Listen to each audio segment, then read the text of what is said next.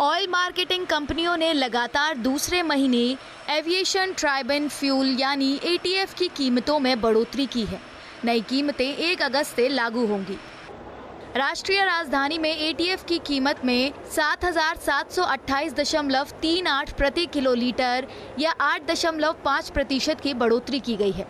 दिल्ली, कोलकाता, मुंबई और चेन्नई जैसी मेट्रो शहरों में घरेलू उड़ानों के लिए भी एटीएफ की कीमतें बढ़ेंगी। टूर एंड ट्रैवल इंडस्ट्री के मुताबिक इस बढ़ोतरी का असर हवाई यात्रियों पर पड़ेगा क्योंकि किराए बढ़ जाएँगे The price increase of ATF will have a negative impact on the travel and tourism industry since the cost of travel shall go up due to the increase in airfares which shall be implemented by the airlines.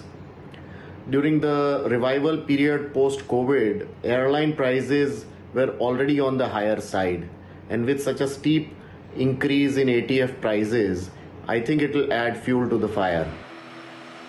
Bharat में हवाई किराए पाँच आधारों पर तय होते हैं। आधार किराया fuel surcharge user development fee passenger service fee और दूसरी फ़ीस ईंधन की बढ़ी कीमतों की वजह से एयरलाइनें फ्यूल सरचार्ज बढ़ा सकती हैं।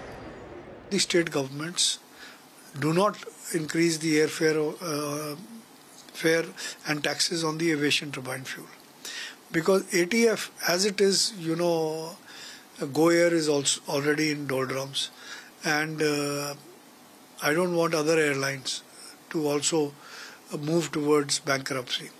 So it is very important for the government to keep the aviation industry viable. The ATF should reduce rather than increase. बिक्री कर या वैट अलग अलग होने की वजह से दरें अलग अलग राज्यों में एक जैसी नहीं होती। चार महीने की गिरावट के बाद वैश्विक दरों में मजबूती आने की वजह से दरें बढ़ाई गई हैं।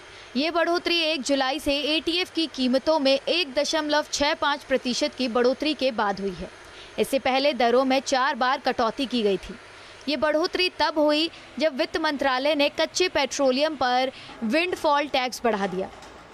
हालाँकि पेट्रोल और एटीएफ पर विंडफॉल टैक्स शून्य है। दरें बढ़ाए जाने की वजह से एयरलाइन ऑपरेटरों की संचालन और परिचालन लागत पर असर पड़ने के आसार हैं।